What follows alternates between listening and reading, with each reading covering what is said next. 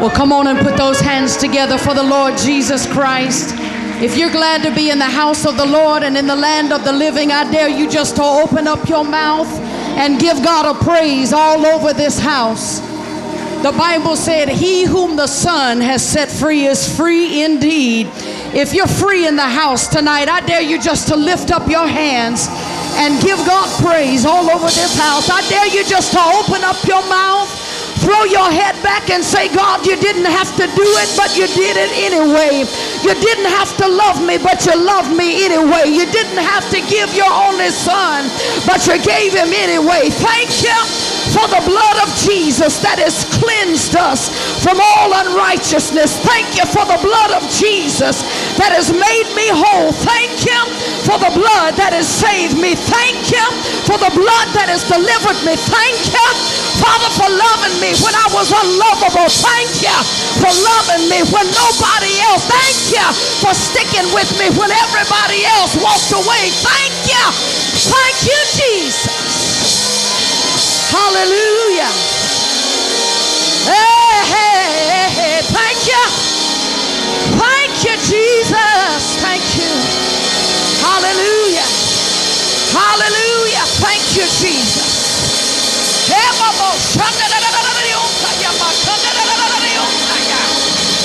Hallelujah. I dare you to look at somebody beside you and say, I don't know what you came to do. Tell them, but I came to praise the Lord.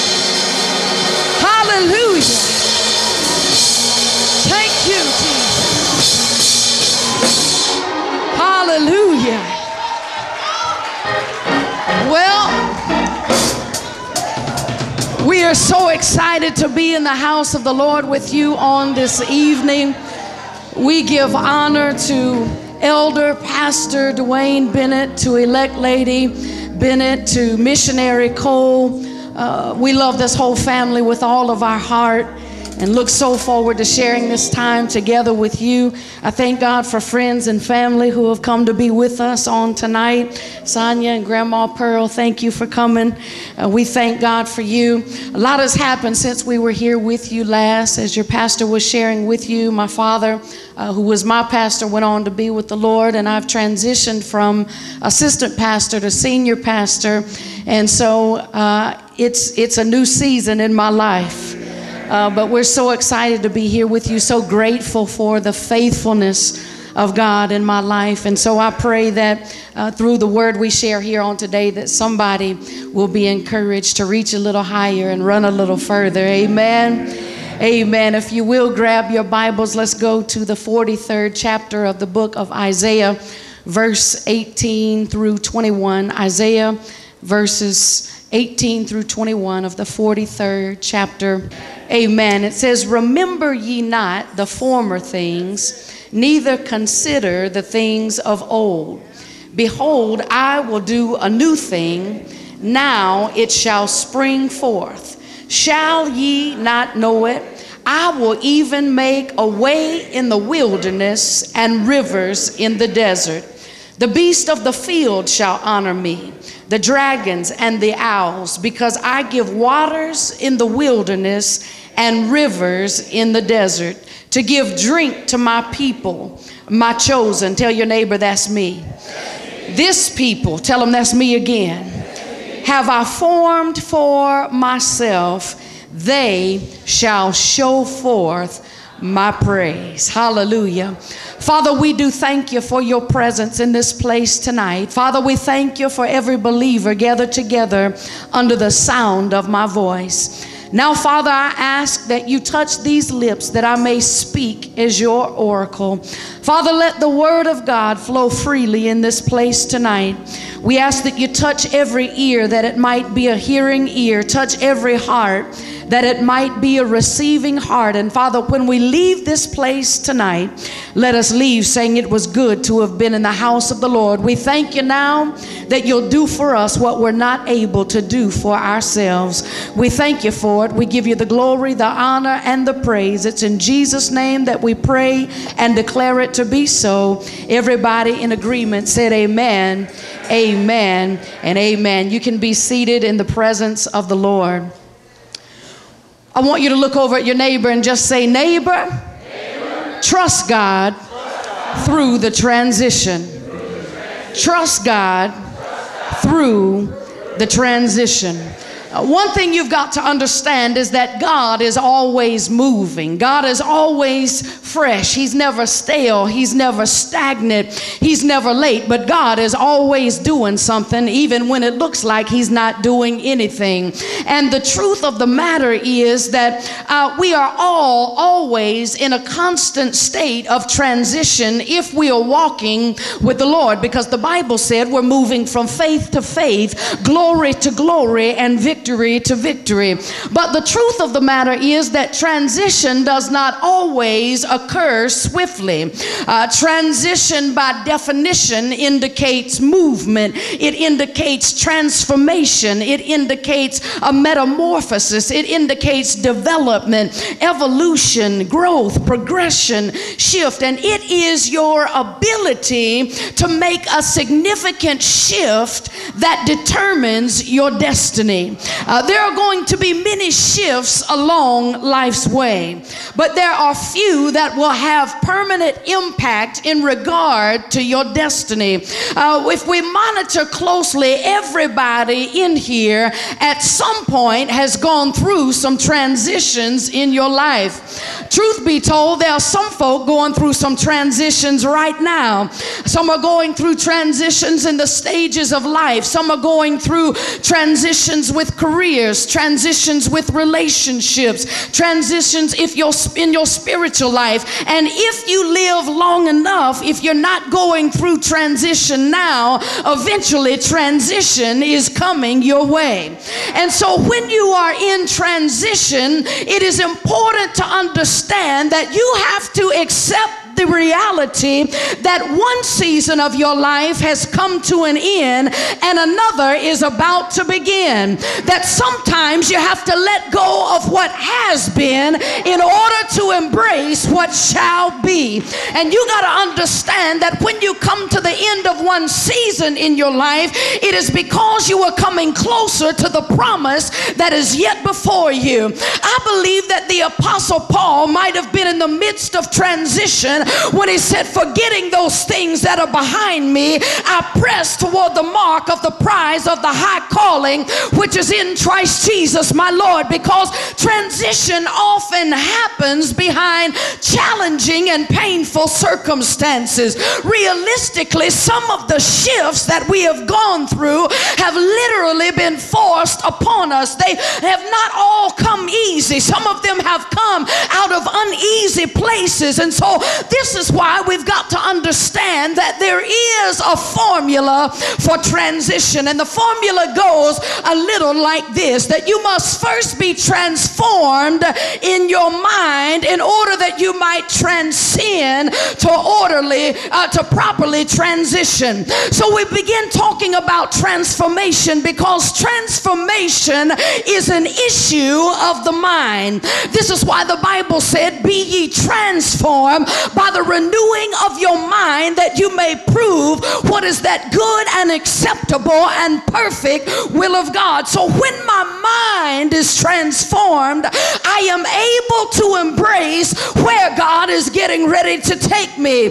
Because if my mind has not been transformed, I cannot even comprehend how big God is or what God really wants to do. Uh, if you don't take charge of your mind, you will eventually lose control of your life. In other words, you can't be big if little has always got you. Uh, you can't be great if trivial has always got you because the idea that rules you inwardly will ultimately determine your steps outwardly. And so you got to say, Lord, I thank you for opening up my mind so that now I can see like I've never seen before. God, I thank you for transforming my mind that I can think on a level that I've never thought on before, uh, that I can begin to comprehend that you can do things for me that I never even dreamed possible for you to do. And so now, because my mind has been transformed, I become open to what God wants to expose me to. When I allow my mind to be transformed, the next step is that my life will begin to transcend. See, it is our ability, uh, our inability rather, to rise above negative influences that will come to prevent us from God's plan coming to pass in our life. But now that my mind is in another place, I find myself in a place that I refuse to get caught up with petty stuff and silly people. Now I can rise above negativity and still declare that God has a plan for my life. I've been transformed in my mind and now I'm rising above certain things. There are some things that used to trip you up, some things that used to trip me up, but now because I've been transformed in my mind, when certain things come, I don't even dignify it with a response anymore. Why? Because I have transcended to another level. And see, often when you transcend, some of the people that you thought were cool with you on the previous level ain't really cool with you no more. Uh, sometimes it's the folks closest to you that'll be the last one to get the memo that I've sh- shifted to another place, that I'm not where I used to be. I might not be where I'm going to be, but something has moved, something has changed, something has shifted, and I have transcended to another place. So now that your mind has been transformed and your life has begun to transcend, now you are in the perfect setup for transition. Tell your neighbor, transition. The prophet Isaiah, the principal prophet of the exilic period in biblical history, begins to speak in our text. The situation is one that the people of God had been displaced from their homeland. Now they were experiencing great emotional distress. This was a time of great instability, a time of great uncertainty where they were feeling insecure. Nothing was the same as it had been. They were just feeling uneasy. Yet the prophet of God comes with a word for the people of God to remind them that though it might not look like it, God is still actively involved in the affairs of your life.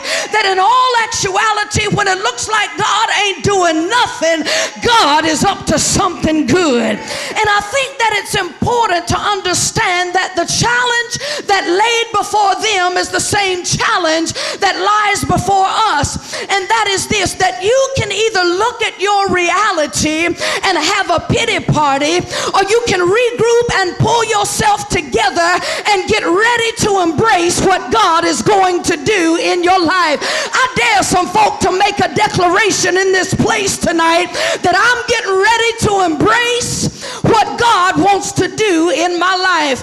I'm going to rejoice about what is in front of me rather than complain about what is behind me. I dare you to look at your neighbor and say, Neighbor, what's ahead of you?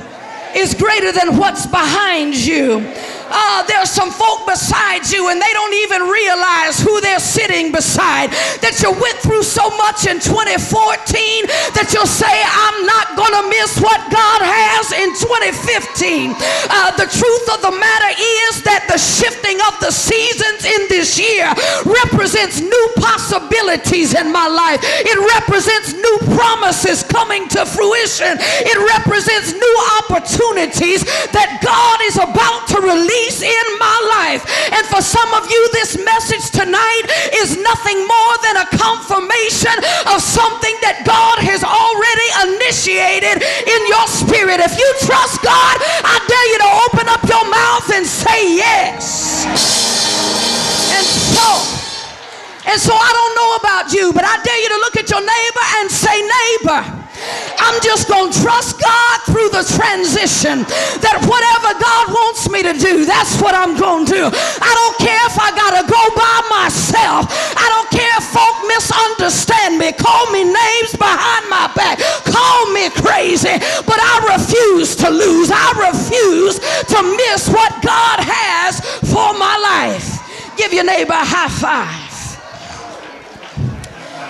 And so when we look at this, I think it's important for us to understand what the prophet of God was jumping was dropping on the people of God, which is something that I want to leave with you this afternoon, and that is this that when a word from the Lord comes prophetically, uh, the word of the Lord has to be received. When the word of the Lord comes to you, it's coming to remind you not to focus on your right now, but begin to consider you're not yet. Uh, that's what prophecy does is that prophecy will usher you out of your current reality and force you to look at your possibilities. And see what the enemy likes to do is that the enemy specializes in trying to keep you bound to your current context, to make you think that how it is now is how it's always going to be.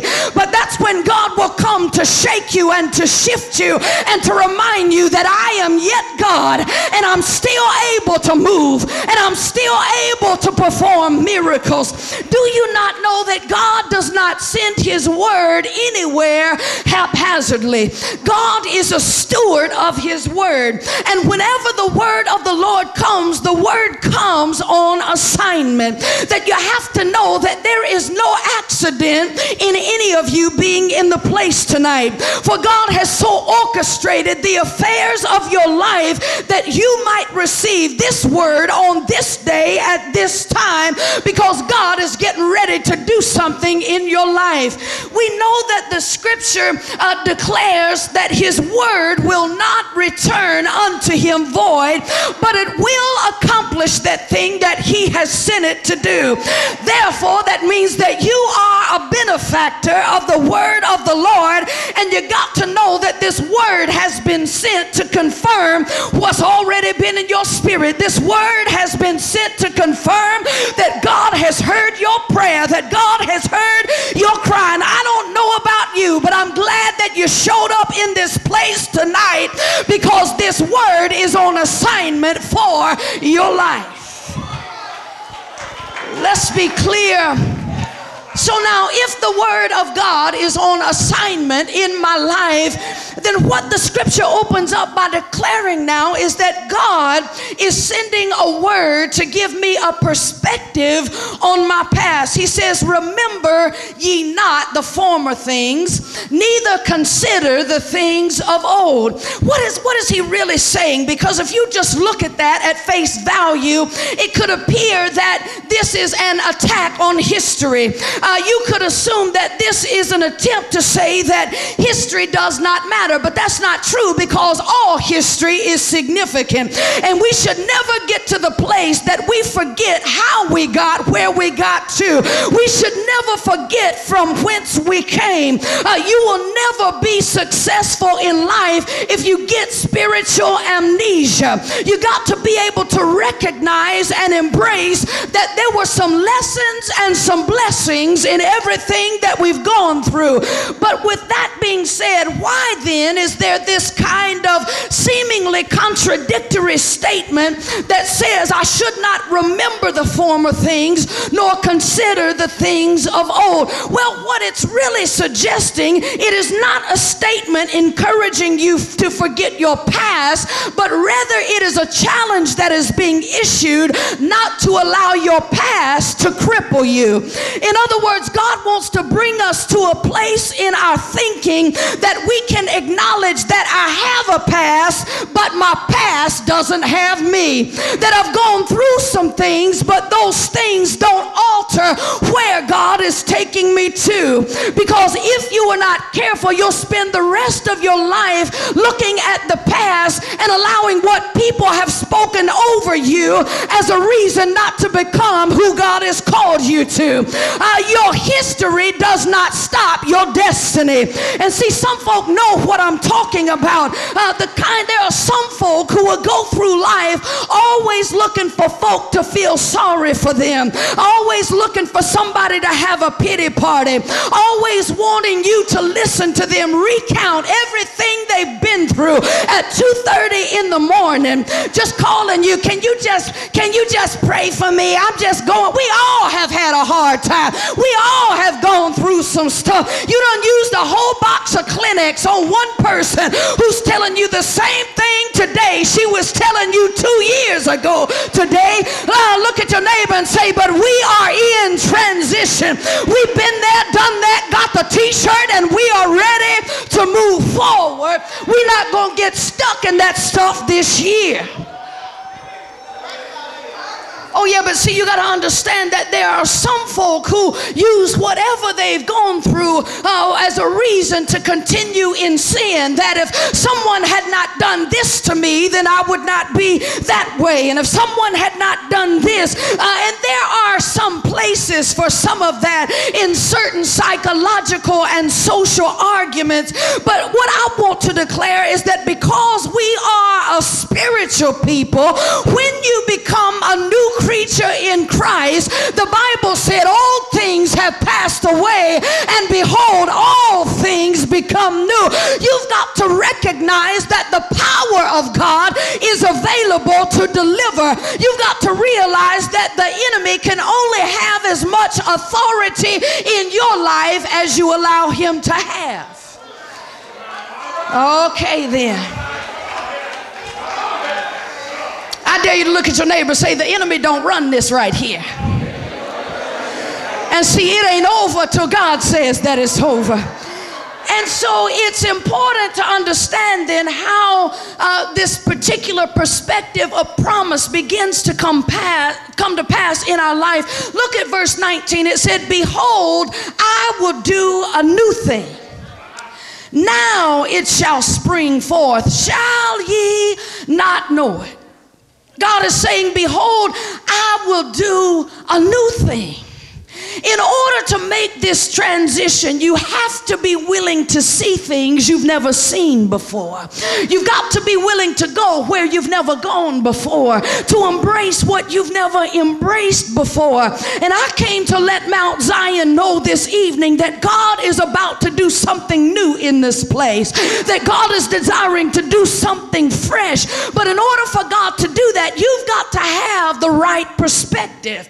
And so the scripture declares behold. That's perspective that says stop. Stop what you're doing. Wait, look at this. And what it is is God saying, Hey, look, I'm trying to do a new thing. And see, that's why He's saying, I'm trying to give you a divine perspective on what I'm doing. Because if you only look at what people try to show you, you're going to end up discouraged. You're going to end up depressed. You're going to end up despondent. But He said, if you'll consider what I'm trying to show you, you're going to be delighted because you're going to see uh, God is showing you you that you are walking by faith and not by sight. Uh, there are some folk who look at you and they watch you in the course of your life and they say, I don't know how you praise him like you praise him. I don't know how you keep your head up when you're going through. Sometimes you just got to look at folk and say, You might see what I'm going through, but I'm focused on what I'm going to.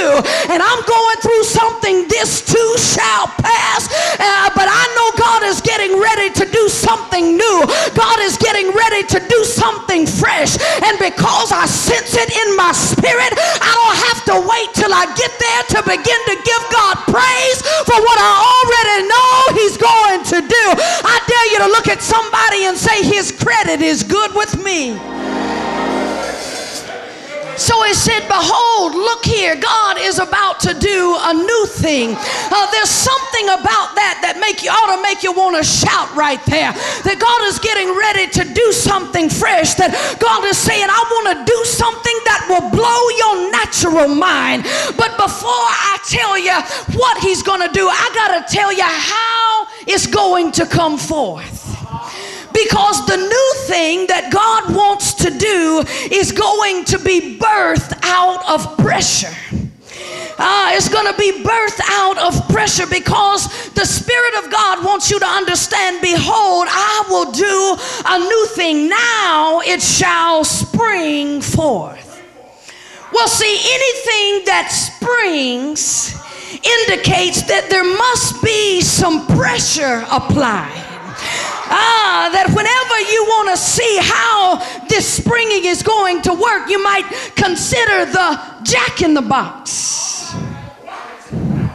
that the reason why the clown is able to spring is because the pressure has already been applied in the darkness and in the confinement of the box or whatever you want to look at. If you're going to spring off of a diving board, you can spring because there is tension in the bottom. You can spring forth from a trampoline because there is tension in the springs. And so, in other words, if you want to really know how high God is getting ready to take you, then you've got to consider the intensity of the pressure that is being applied to your life. Now, this might not uh, go for everybody, but there's some folk up in here tonight who can say, I know I must be about to spring because I ain't had nothing but pressure here, pressure there, here, pressure there, pressure everywhere, some pressure, pressure.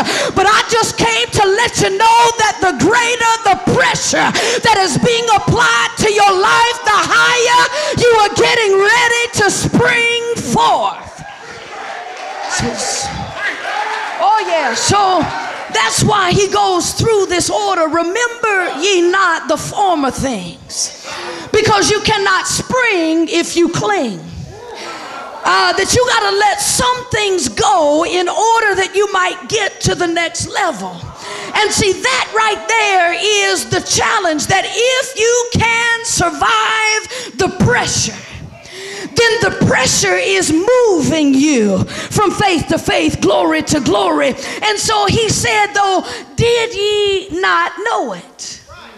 Which implies to me that I can come to certain places in my life that God can be doing something and I'm not even aware of what God is doing. And see, that's why you got to have a certain type of perspective. That's why you've got to be perceptive that sometimes when things are happening and God is allowing this and God is allowing that, it's not that God has left you, it is not that God has forsaken you, but it is because God is moving in your life, even when it seems like He's not talking, even when it seems like nothing new is going on. Uh, there's stuff happening, and sometimes you get mad and you get upset and you say, God, I don't understand. God said, I just want you to understand that I am yet moving on your behalf when you don't see the wind blowing, when you don't hear anything in the trees, when you don't see anybody telling you anything encouraging, when nobody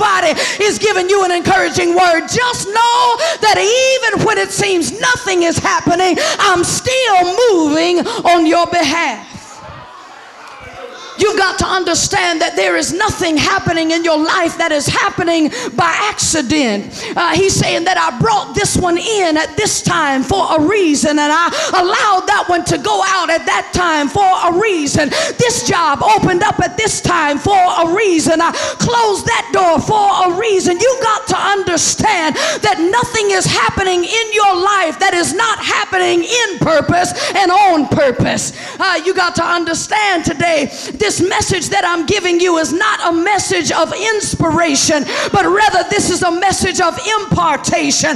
This is a message of preparation. Some of you, when you get this word in your spirit, you're going to begin to make preparation for God to move in your life. And sometimes you've got to move with pain in your heart. Sometimes you got to move with tears streaming down your face. You got to function sometimes when folk don't even understand what you're going through. But can I just drop something on you right quick? Can I drop it? Because I see some folk are looking at me kind of cynical like.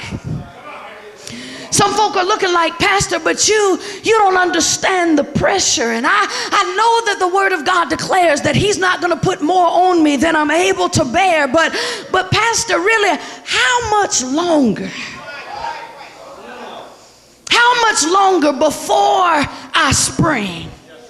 Well, if you take a look at verse 19, it might provide you some insight because he said, Behold, look here, I will do a new thing now it shall spring forth. God is saying, I will do something new right now. And see, there's somebody in this place today, and I don't know what all you've gone through, and I don't know what you've uh, experienced literally, but I know that there's a lot of folk in here who have been under all kind of pressure, and God sent me to release this word to get you ready because there is some stuff that is getting ready to manifest now. It's not going to be two years from now. It's not going to be five years from now.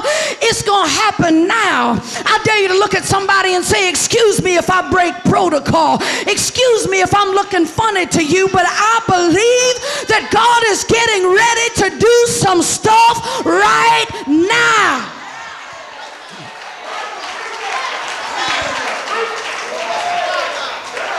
There are some interesting things about transition that transition is not always easy. It can cause us to have layers of anxiety. And I know that we're all spiritual and anxious for nothing, and in all things by prayer and supplication, you're making your request known unto God. I know that, but let's be honest because sometimes when you go into something that you have never done before, when you go into a new area, when you go into a new season, a new job, a new career, a new relationship. Anytime you step out into the unknown, it can be a little unnerving, even to the best of us. That sometimes we find ourselves in a place where we're saying, Lord, this thing is brand new. I, feel so secure in this place. I, I've never been here before. I don't know what to expect. I don't know what to anticipate. I don't even know how to prepare. There are uncertainties. And this is what the people of God were dealing with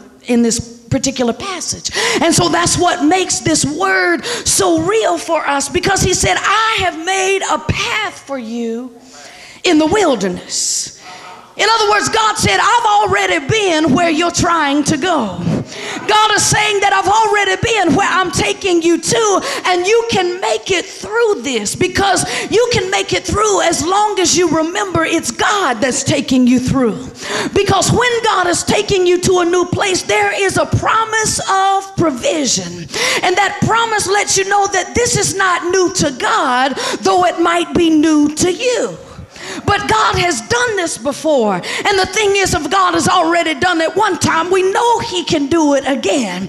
Which means now you are in a place that everything you've seen as an obstacle before, you can see as an opportunity now. That you've got to stop looking at the seemingly insurmountable things in your life and you got to say, I got to trust God enough to know that if He's calling me to step out in this transition, He's going going to take care of what I can't take care of. Uh, that there are some supernatural and divine orchestrations that are happening in my life. And whatever I got to go through to be where God wants me to be, I've made up in my mind I'm going to embrace the process. I'm going to stop worrying about how it's going to get taken care of.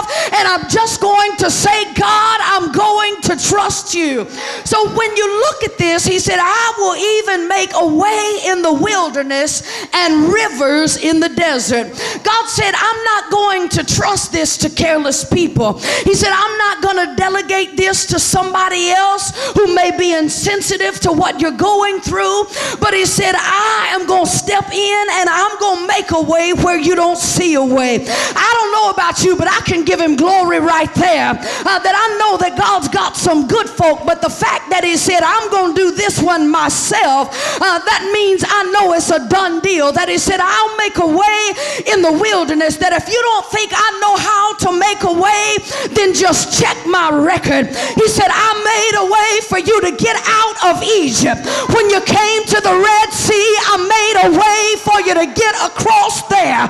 He said, when you got to the wall of Jericho, I made a way for the wall to come down. He said, check my record. I made a way for Shadrach, Meshach, and Abednego.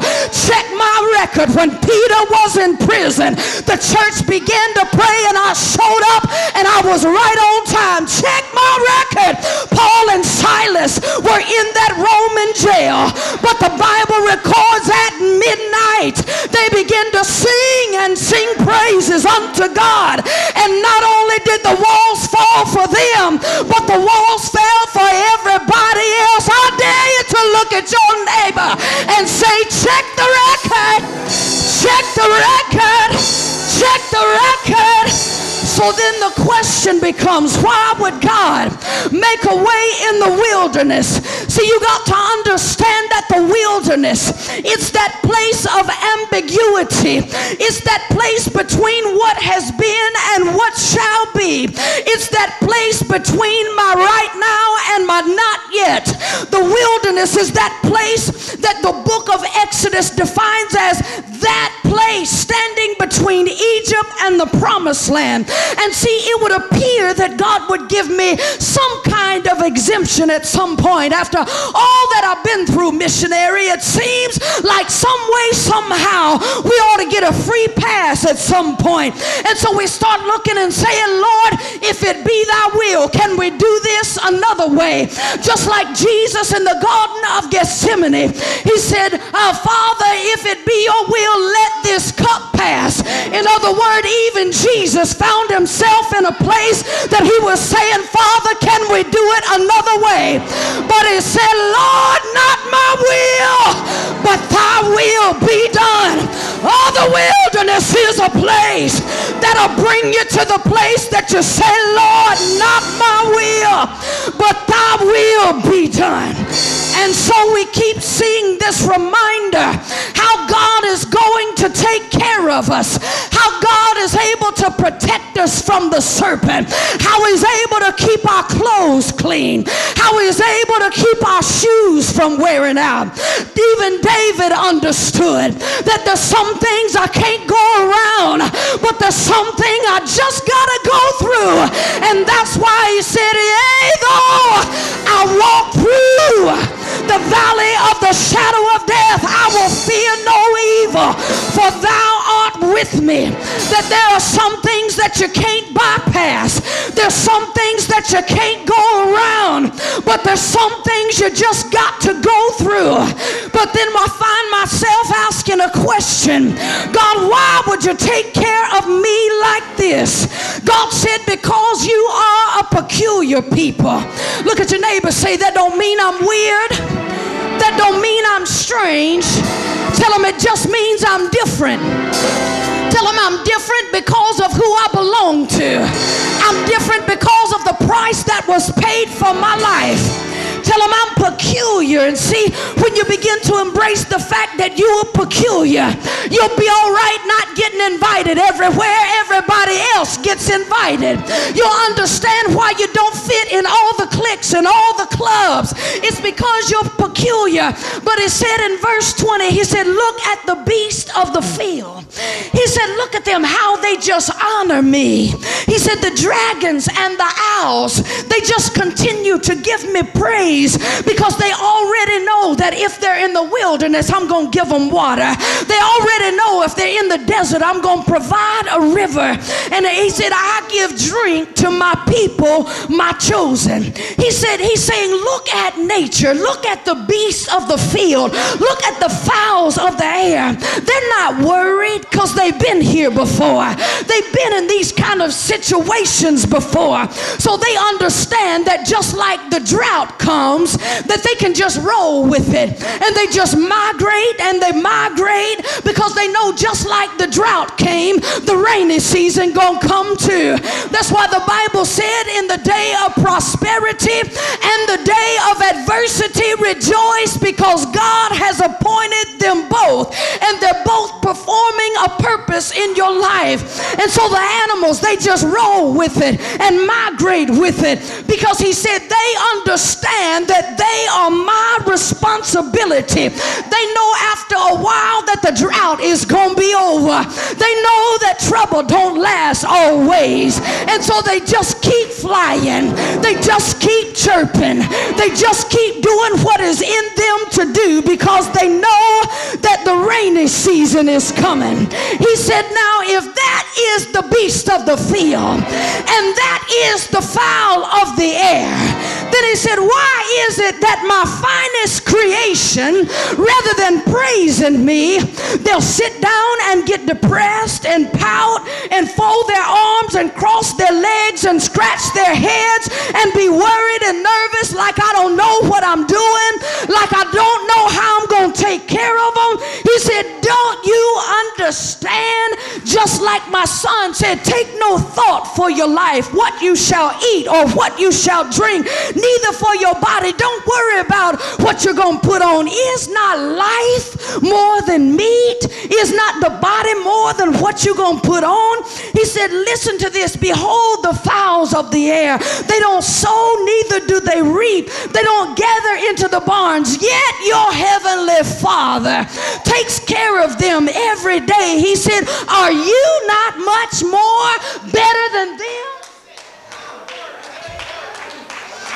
He said, Let me ask you a question. How many of you can add to your stature by worrying? He said, How many? He said, Consider the lilies of the field, how they grow, how they toil not, neither do they spin. He said, They don't have to work at being who I've created them to be. He said, So if God can clothe the grass of the field, which today is here and tomorrow is gone, he said, How much more will he not clothe you? Oh, ye of little faith. Why are you worried about what you're going to eat? Why are you worried about how you're going to get your bills paid? Why are you worried about how you're going to put gas in the car? Why are you worried about where the tuition money is coming from? Why are you worried about how you're going to get your books? God said, Stop tripping. I've done this before. And he said, Your heavenly Father knows that you have need of all these things. So he said, All you got to do is seek first the kingdom of God and his righteousness, and everything that you need will be added to you. He said, Stop worrying about next week, next month, next year, tomorrow. He said, Because tomorrow is going to take care of itself, but you got to deal with today. So he said, You got to come to the place that you just let go of that. I dare you just to look at your neighbor and say, Whatever it is that you're going through, you got to understand that God has got this. Tell your other neighbor, God's got this. Tell them God's got this. Ask them, baby, don't you know who you are? Tell them you're God's chosen people. You're peculiar. You're a royal priesthood. Tell them the favor of God is upon your life. And God is going to take good care of you. God's going to take good care of you. He's going to take care of you so good. Other folk going to be scratching their head trying to figure out how you got what you got. I'm gonna hurry because I see some of y'all ready for me to go. But I dare you just to look at somebody and say, I trust him. I dare you to tell him, I trust him because I can't even explain it, but God keeps making a way. God keeps opening doors at unexpected times. God keeps showing up with unexpected things in unexpected places. And see, I gotta praise Him because He keeps on making a way. Uh, I dare you to tell somebody I'm in transition. But see, when you are in transition, every act of God requires a response from you. This is where you got to understand how to maximize the power of your witness. And I am almost through, so y'all can relax. But this is how you begin to understand how to maximize the power of your witness. The final thing I want you to see is your responsibility once the power of God has been manifested in your life. God said in verse 21 He has formed us for Himself. He said, This people, tell your neighbor that's me. So you got to make this thing personal because if the word is always for everybody else, you're going to keep staying where you are doing what you're doing but expecting a different result. But when you understand this thing is personal and that it's relative to where you are, you'll begin to understand God is wanting to do something miraculous in your life. He said, This people have I formed for myself. But there's a reason. He said, For they shall show forth my praise. That there is something in your spiritual DNA that you've got to know who you are. Before He formed you in your mother's womb, He knew you. He knew the number of hairs on your head. He knew what you would look like and what your voice would sound like. He knew what size shoe you would wear and he knew how you would think and who you would love. And he knew how he could trust you and use you. And see, that's why the stuff that took other people out couldn't take you out because there was already destiny attached to your life. That all things had to work together for your good because they were necessary for what what God was bringing about in your life. Have you ever been in a place where you were just going along in life and everything was going all right and it seemed like God just uprooted all your plans, like God just flipped the boat over and turned everything upside down? Uh, you have that place that you had everything all figured out and now it seems like God just came in and tore it all to pieces and you find yourself saying, God, why would you allow this to happen? Happen like this. And God said, I had to allow certain things to happen like they happened because if those things had not happened, you would have gotten stuck where you were. If that had not happened, you would have been too comfortable just coasting along, uh, just being all right. But God said, I didn't call you just to be all right. I didn't raise you up for you to just get along with the get along. God said, There's too many gifts on the inside of you.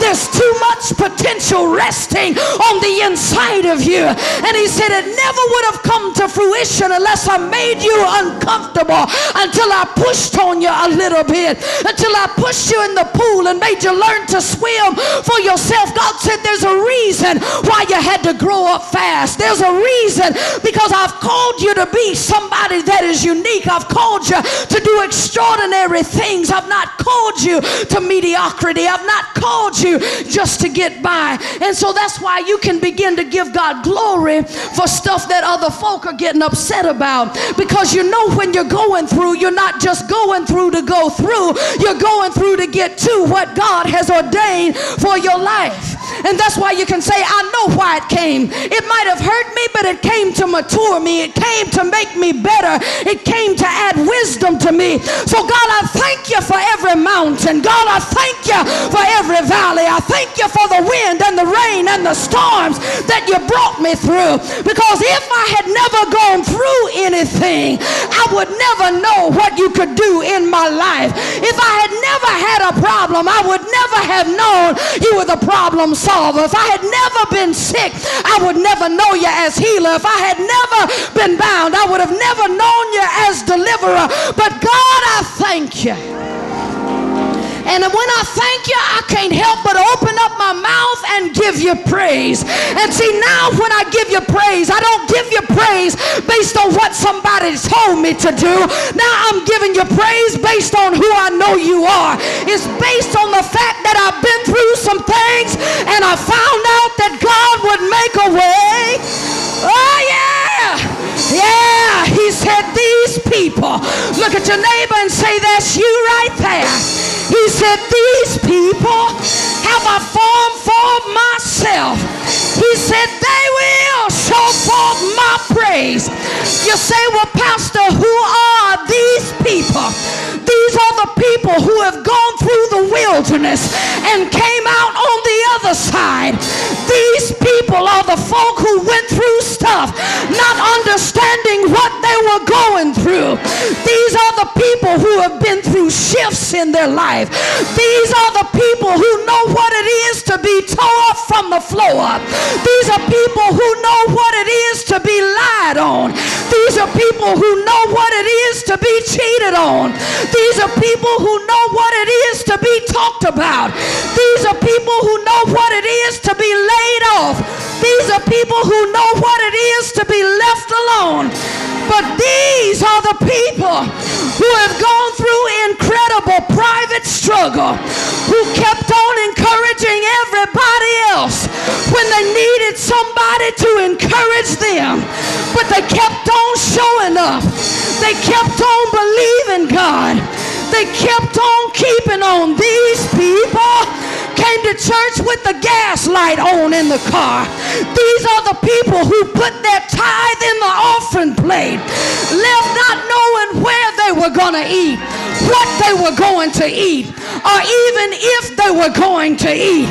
But they said, though God slay me, yet will I trust him. It's for God I'll live, and for God I'll die. These people, he said, the beast of the field honor me. He said, the fowl of the air, they're doing what they're supposed to do. He said, the cows are mooing. He said, the birds are chirping. The dogs are barking. The cats are meowing. The fish are swimming. The roosters are crowing. But he said, I'm waiting on the praise of these people. I wish you would look at your neighbor and say, neighbor, I've got an announcement that this is going to be my loudest year ever. Tell them this is going to be my most vocal year ever. Tell them you thought you had seen me praise God before. But tell them because I'm one of these people, tell them you ain't seen nothing yet. Because when I think of the goodness of Jesus and all that is done for me. My soul cries out, hallelujah. I said, my soul cries hallelujah. When I think of the goodness of Jesus, where he brought me from, what he brought me out of, what has brought me through, what has taken me to, my soul cries hallelujah. I dare you to look at your neighbor and say, neighbor, God's getting ready to move like you've never seen him move before. Tell him God's getting ready to blow your mind. I dare you to grab your neighbor by the hand. I dare you to shake him like that. And just say, neighbor, this is how your life has been this year. God has rocked you. He's rolled you. He's shaken you. But tell him when I let your hand go, I want you to lift your hand up and I want you to give God a praise and tell him I'm one of those people. I'm going to show forth the praises of my God. I dare you to look at your neighbor and say, neighbor, I'm coming out of this with my hands up. Tell them I'm coming out with my praise intact. I'm coming out with my love intact. I'm coming out with my peace intact. Tell them I'm coming out with my hands up and I'm going to give God praise because I've just gone through and found God to be grateful in transition. I'm going to give you 60 seconds to give God the best praise that you've got.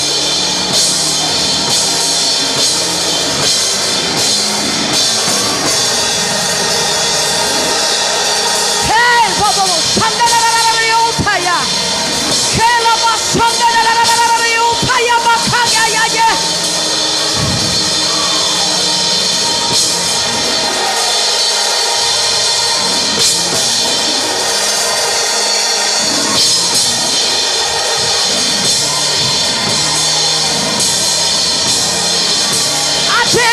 at your neighbor and say, higher heights, deeper depths, longer links. Tell him I'm going all the way with Jesus. Give him a praise in the house.